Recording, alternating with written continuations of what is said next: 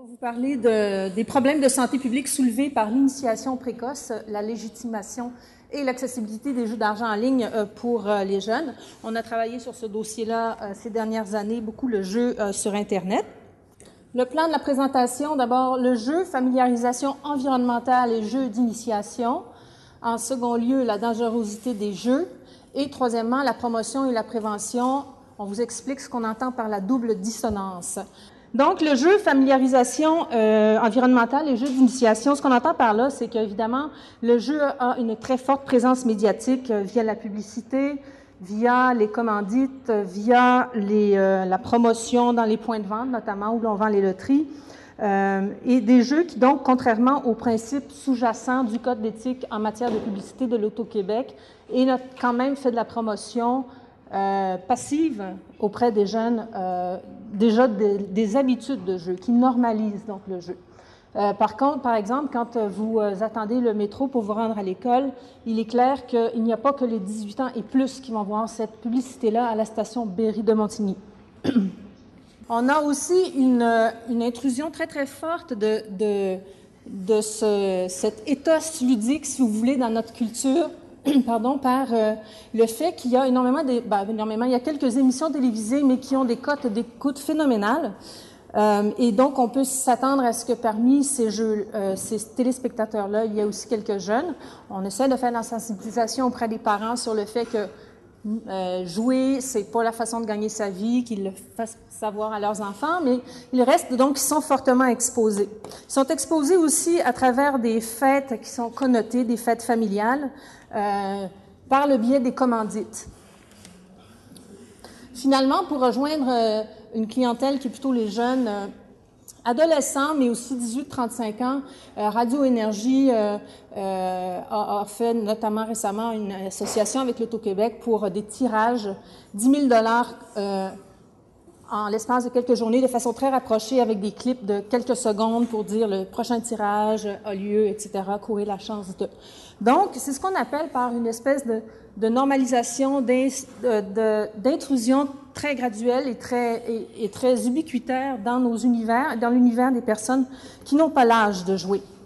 Il faut comprendre que sur Internet, les jeunes jouent déjà à plusieurs jeux euh, sur des plateformes Adobe Flash, là, euh, par exemple, euh, des, jeux de, type arcade, des jeux de type guerre, et c'est très, très répandu.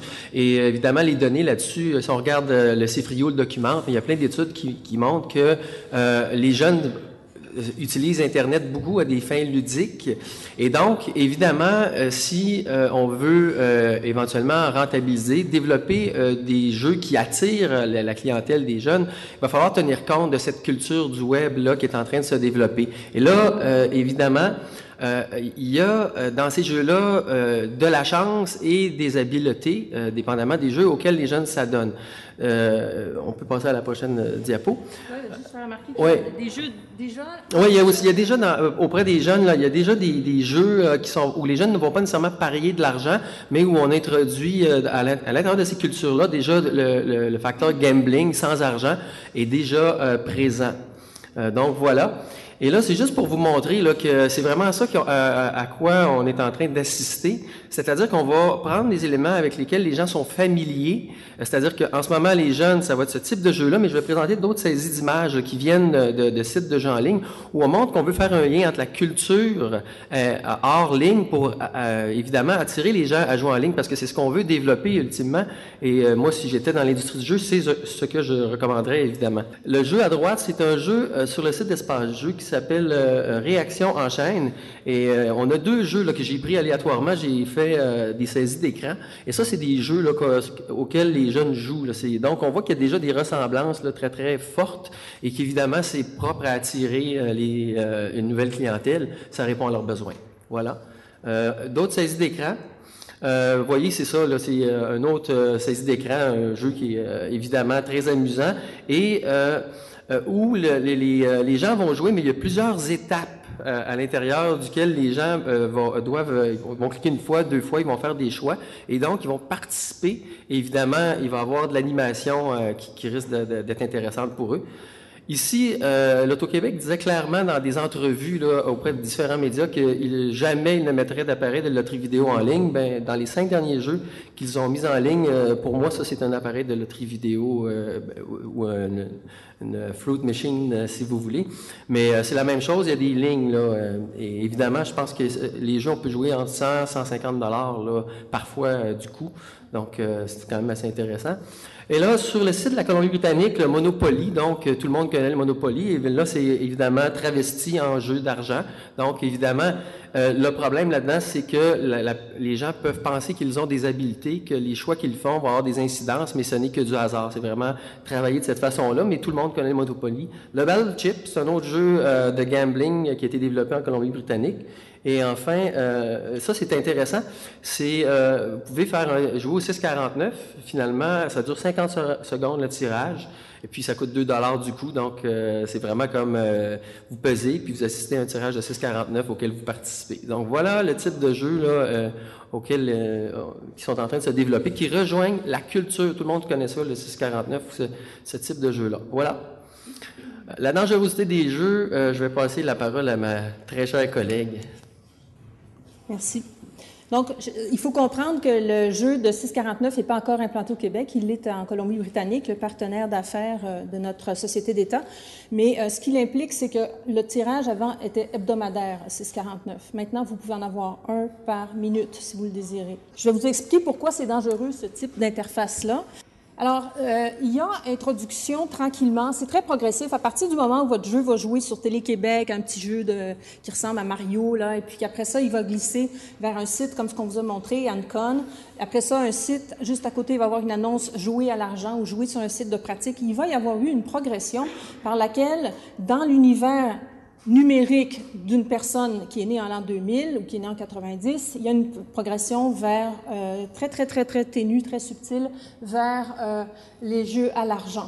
D'ailleurs, euh, quand on lit la littérature corporative de certaines compagnies, on comprend très bien qu'ils le disent ouvertement. Nous cherchons à aller chercher le, le vaste bassin de consommateurs de casual gaming, les jeux récréatifs, pour les attirer dans ce qui est beaucoup plus payant, évidemment, les jeux en ligne, à l'argent. Les sites offrent des jeux de simulation, offrent des simulations, des jeux de démonstration, juste en, mode trial, en mode euh, essai, ou des petits cours qui permettent aux nouveaux venus d'apprendre gratuitement et de pratiquer leur habileté, un aspect qui est particulièrement euh, associé aux problèmes de jeu dans la littérature. Euh, très, très tôt, même avec les jeux des enfants, on va introduire la notion de crédit, acheter ceci, changer cela, accumuler de l'argent, euh, et vous avez votre banque, euh, etc. et les habitués des jeux vidéo interactifs d'habileté, de jeux récréatifs ou des jeux massivement multijoueurs peuvent vraiment avoir un faux sentiment de contrôle et d'habileté lorsqu'ils vont migrer vers le jeu en ligne. Alors que, généralement parlant, il n'y aura absolument aucune aucun impact de leur habileté sur le résultat du jeu quand on parle de jeux de casino, par exemple. Alors, que, les structures euh, très technologiques, technotechniques euh, qui favorisent la perte de contrôle aux jeux de hasard et d'argent en ligne, euh, ben, c'est-à-dire spécifiquement sur les jeux électroniques, les appareils électroniques de jeu, les, appareils de loterie vidéo, les machines à sous des casinos, la possibilité de jouer de manière continue, euh, avec une fréquence très répétée, euh, très rapide. C'est non coûteux pour participer, apparemment, ça coûte 25 sous ou euh, on parlait de 2 dollars, mais ça s'accumule très rapidement. Euh, la facilité de paiement est pour, beaucoup par la, perte de conscience de l'argent dépensé, vu qu'on peut jouer avec une carte de crédit et non pas avec de l'argent sonnant trébuchant. La programmation des jeux électroniques et en ligne fait appel à ce qu'on appelle les principes de renforcement positif interminant, basés, en tout cas expliqués par euh, le psychologue Skinner. Euh, dans les années 50. L'un d'entre eux, les intervalles de jeu euh, et les intervalles de récompense courts, qui font que quand le jeu serait arrivé pour devenir plate, vous allez avoir un petit punch, un petit truc, un petit, un petit gain qui va faire en sorte que vous allez rester accroché pensant que le gain est imminent ou parce qu'il vient de, s'y ajouter un élément de suspense. Donc, ce sont la distribution élevée de petits gains et la programmation de quasi-gains qui est euh, cette programmation non aléatoire euh, d'événements, de, de, jeux qui vous font croire que vous étiez sur le point de gagner et qui donc vous fait penser que vous êtes dans une phase chanceuse et que la prochaine sera la bonne. Donc ça ajoute à la persistance au jeu. Euh, il y a présence d'éléments renforçant l'impression de contrôle sur le jeu. Oh, ça, ça, vibre. Euh, une cohabitation de jeux de hasard et d'adresses sur une même plateforme, ce qui fait qu'on passe d'un mode logique à l'autre, ce qui n'est pas pertinent, ce qui peut nous faire perdre pas mal de sous, puisqu'il euh, n'est pas question pour des jeux de hasard purs de pratiquer plus longtemps pour devenir meilleur. Et euh, il y a une certaine absence, euh, ou il y a en tout cas un caractère particulier des interactions sociales. On a souvent des interactions, oui, mais avec un avatar ou un adversaire, euh, un adversaire virtuel, ou on n'a carrément pas, on est vraiment, on joue contre une, programmation, quoi. Et euh, il y a aussi le fait, en tout cas en termes de prévention, qu'on est peut-être moins exposé au jugement, au rappel à l'ordre, qu'on peut l'être dans un lieu de jeu qu'on appelle en dur, c'est-à-dire un casino ou euh, un endroit où il y a d'autres personnes autour de nous. Mais d'aucuns prétendent que les parents, par contre, peuvent à la maison surveiller les jeunes. Ce n'est pas fou. Des facteurs de risque exacerbés. Internet a été démontré pour favoriser la perte de contact avec le monde réel, des expériences d'immersion, de dissociation. Je ne sais pas si ça vous est déjà arrivé d'appeler votre petit qui, pour souper, lui demander 12 fois d'arrêter son jeu. Maman, je finis ma partie, je recommence et je, viens. ça, ça, peut être long. Ils sont complètement absorbés. Euh, donc, la quête d'évasion a été euh, identifiée comme un facteur important, notamment de comportement excessif chez les joueurs. Un autre élément euh, de risque, les programmes de fidélisation. Et là, on est vraiment dans le marketing, on en a beaucoup parlé aujourd'hui. les programmes de fidélisation par lesquels on a pris vos quelques coordonnées, on va vous envoyer des incitations à jouer les bonus, les gratuités, le jeu à crédit, les concours. Il existe autour de 150 possibilités différentes de paiement typiques aux, jeux en ligne. Et euh, donc, tout ça, des éléments de perte de contrôle des dépenses et de dépenses en temps et en argent. Alors, rapidement, euh, juste vous dire que euh, ça a une grande capacité de captation, les jeux en ligne, euh, et les données d'études populationnelles démontrent que le pourcentage de joueurs euh, parmi les joueurs, de joueurs problématiques parmi les joueurs en ligne est beaucoup plus élevé que parmi les joueurs qui joueraient à d'autres types de jeux ou que parmi la population. En orange, vous avez le pourcentage de joueurs problématiques parmi les joueurs Internet. En, en, en jaune pâle, c'est parmi les joueurs tout court, et en jaune pâle, c'est parmi la population. Donc, c'est vraiment dramatiquement plus élevé. Pour terminer, les jeunes Québécois, avant de passer la parole à Jean-François, les jeunes Québécois, euh, il y a plusieurs études à travers le monde qui sont en train de sortir, mais ça, c'est des données simplement québécoises. En 2006-2008, le pourcentage des élèves québécois qui s'adonnent au poker en ligne a doublé. Donc, on a une tendance.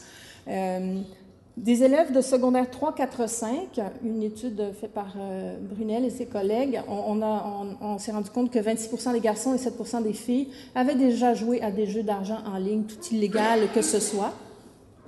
Et parmi ceux-ci, 31% éprouvaient des problèmes de jeu. Problèmes de jeu, c'est ce qu'on appelle, c'est une catégorie qui inclut les joueurs pathologiques et ceux qui ont déjà des symptômes qui sont en processus euh, dangereux, je dirais. Alors euh, maintenant, la promotion et la prévention, double dissonance. Donc, euh, c'est ça. Donc, on va au départ un euh, processus de, familiarisation, adaptation aux différentes cultures euh, des, internautes pour les amener, en tout cas pour favoriser les comportements de jeu finalement.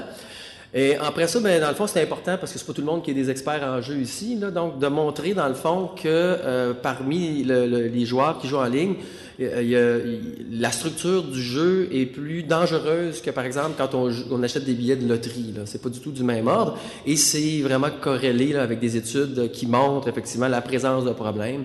Et euh, ça l'est aussi, euh, par exemple, dans le cas des appareils de loterie vidéo, par la présence euh, de, joueurs qui jouent à des appareils électroniques de jeu dans les services d'aide. Donc, c'est, c'est, pas, quelque chose qu'on a inventé. Donc, ceci dit, si on, ramène ça dans une perspective un peu plus d'écran, de, de, messages, de communication, tout ça, euh, là, j'apprends rien à personne. Mais pour faire de la prévention, la, théorie des, euh, en communication, évidemment, tout message, que ce soit un message de, promotion ou de prévention ou n'importe quoi, ça prend un sens dans un contexte. Et là, évidemment, le réflexe souvent, euh, en tout cas moi, ce que je remarque, c'est que, bon, il y a un problème, il faut absolument faire plus de prévention. C'est quasiment tout le temps le réflexe. En ce moment, moi, le questionnement, c'est vraiment de savoir, oui, mais est-ce que ce, message, ce message-là qu'on va envoyer, il va prendre un sens dans un contexte? Et là, on essaie de faire la démonstration qu'en ce moment, il y a énormément de promotions de jeux et que ces messages-là, finalement, viennent renforcer les biais cognitifs, finalement, les, les, les, faiblesses du cerveau humain. Et donc, en tout cas, je, vais continuer. Mais donc, il y a un message ou un comportement qui est interprété en fonction d'un contexte. Bon, l'espace euh, public, en ce moment, il est habité par plusieurs messages sur le jeu. Il y en, il y en a plusieurs, on va, on va en regarder. Et, mais le message dominant, quand on regarde, c'est vraiment un, message qui, valorise le jeu et qui incite au jeu. Il y en a beaucoup. Ça ne veut pas dire qu'il n'y a pas d'autres types de messages. Il y a aussi euh, des gens qui, euh, qui, trouvent que le jeu, c'est immoral ou tout ça. Mais en gros, si on fait une analyse de contenu, on se rend très rapidement compte que le message est surtout un message d'incitation. Donc, évidemment, pour amener des gens à jouer, il faut, euh, étant donné que c'est pas un produit, là, c'est pas de l'alcool, c'est, vraiment là, une construction, le jeu, c'est pas un produit, donc il faut arriver à, convaincre les gens d'adopter ce comportement-là, et donc à, démontrer les avantages et à, voir quels sont les, euh, motivations qui vont les amener à jouer. Donc, c'est ce que, essentiellement ce que va faire la promotion. Et là, évidemment, on le fait par ce qui existe déjà chez l'homme, le, fait de surestimer euh, ses capacités de gain, euh, des trucs comme ça qu'on qu connaît bien, de, se sentir, surtout chez les jeunes, invulnérables, les problèmes, ça n'arrive qu'aux autres. T'sais, on va, on va taper là-dessus.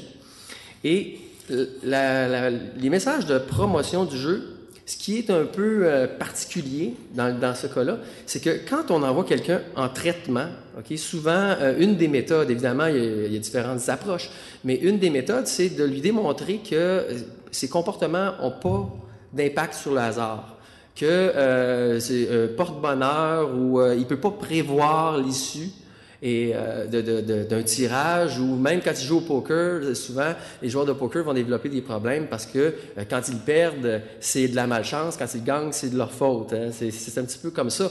Et qu'est-ce qu'on fait avec les joueurs? On essaie de les aider à, à comprendre le, le, fonctionnement. Et si on regarde qu'est-ce qu'on trouve dans la publicité, ben c'est l'inverse. En fait, dans la publicité, on cogne sur ces, euh, sur, ces biais cognitifs-là. Donc, euh, juste pour vous donner un exemple concret, j'ai pris une phrase, là, euh, publicité de loterie sportive. Dans chaque amateur de sport, il y a un expert. Et là, on prend des vedettes pour nous dire ça. évidemment, après ça, quand, évidemment, si le message qui est, qui est répété, répété et qu'on trouve partout, c'est celui-là, ça devient d'autant plus dur de passer un message de prévention. Parce qu'évidemment, euh, les normes sociales valorisent beaucoup le sport. Vous regardez RDS, tout le monde y va d'une prédiction. Ah oui, les Canadiens vont gagner, paf, paf, paf, une prédiction là, une prédiction là. C'est très ancré dans la culture, c'est très difficile à défaire, surtout si la promotion tape là-dessus, sur ce clou-là. Donc, l'implication cognitive de cette affirmation, c'est que ça renforce l'illusion de contrôler le jeu, évidemment, parce que euh, j'ai prédit que les Canadiens gagnaient, puis que les Nordiques existeraient, ça n'existe pas, mais, mais euh, j'ai fait différentes pré prédictions et ça a fonctionné. J'ai donc une habileté. Et si j'ai perdu, c'est pas grave, j'en ai une sur trois, j'ai planté mon chum, puis euh, on, on y arrive quand même. Et c'est aussi l'idée qu'il faut pratiquer pour être un expert, parce que dans chaque amateur, amateur de sport, il y a un expert. Il faut donc l'extraire, cet expert-là. Et donc, en pratiquant, je, vais l'extraire, l'expert en moi. Et enfin, l'idée qu'un gain peut être attribué, euh, peut être attribué, attribué à l'habileté. Euh, si je gagne, ben, c'est un des problèmes avec le, jeu, c'est de gagner, malheureusement. Et les appareils, euh, justement, les, les, appareils électroniques de jeu ou les, sites de jeux en ligne vont distribuer beaucoup de gains et là, c'est le fait de gagner euh, des petits gains qui incitent les joueurs à, poursuivre. Donc, encore une fois, là, ça, c'est sur un site, euh, faire 10 000 en moins d'un an à partir de 50, c'est possible. On renforce euh, des, des, pensées, là, évidemment, en pratiquant, je vais réussir, il y a de la stratégie, tout ça. Ça, c'est surtout dans le cas du poker.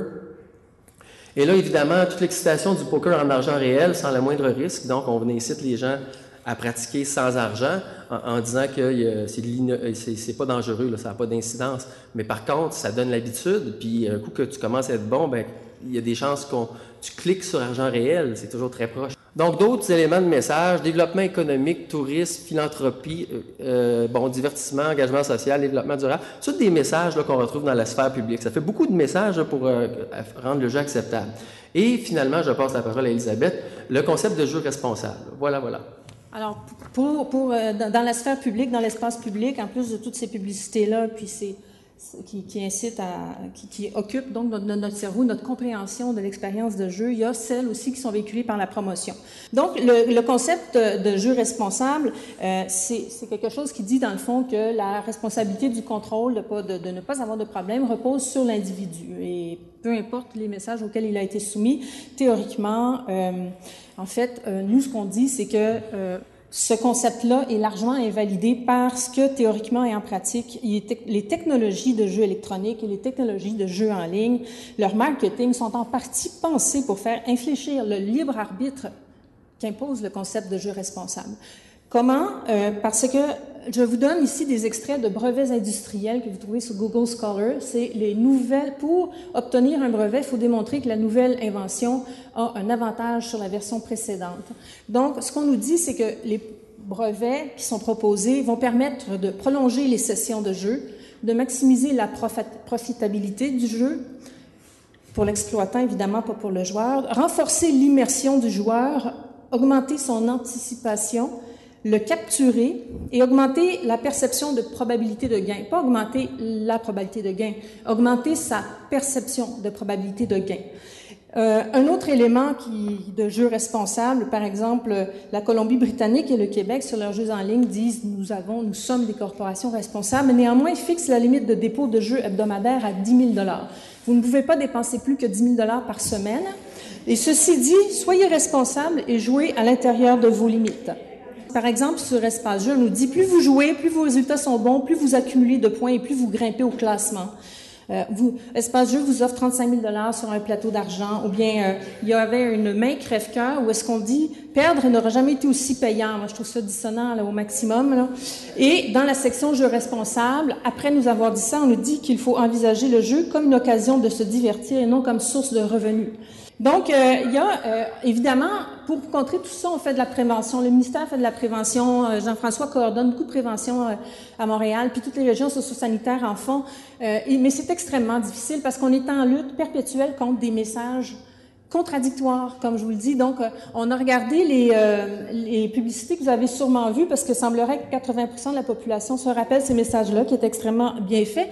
Et on en a fait très rapidement l'analyse et euh, parce qu'on se disait que euh, avec les messages paradoxaux qu'il y a concernant les bénéfices du jeu, est-ce qu'il est possible qu'on comprenne mal aussi les euh, messages de prévention? Donc, on s'est penché sur l'étude de, mise sur toi qui a été diffusée il n'y a pas tellement longtemps à la télévision et une enquête donc a confirmé que 20% des répondants pensait que la campagne visait plutôt à encourager la pratique des jeux de hasard et d'argent. 10 ne savaient pas ce qu'elle visait, puis il y avait quand même 60 qui pensaient que ça visait à décourager. Donc, c'est assez ambivalent comme positionnement face euh, à, ce contenu-là. 45% des répondants euh, estiment que la campagne informe pas la population des risques. Il y a 50 qui ne savent pas, 50 qui pensent que ça informe des risques. Donc, pour nous, en santé publique, c'est quand même important que, euh, de la même façon comme on a fait pour l'alcool, euh, on a montré des gens qui se réveillent le lendemain de veille puis qui font dur parce qu'ils ont trop bu la veille. On a montré des jeunes accidentés pour les, inciter à ne pas prendre l'alcool éméché, la route éméchée. Eh bien, il y a dans l'alcool une, communication au sujet du risque. Visiblement, dans la campagne-là, il n'y en avait pas une suffisante, en tout cas en termes de, de santé publique. Là. Et donc, on est en présence, selon nous, d'une campagne euh, euh, qui produit probablement des effets paradoxaux ou un petit peu dissonants sur une partie des téléspectateurs. Et euh, ces constats-là, pour nous, posent, ah, j'ai pas dit ça, c'est que les gens attribuaient pas la campagne, euh, dans le fond, à son, à son commanditaire principal.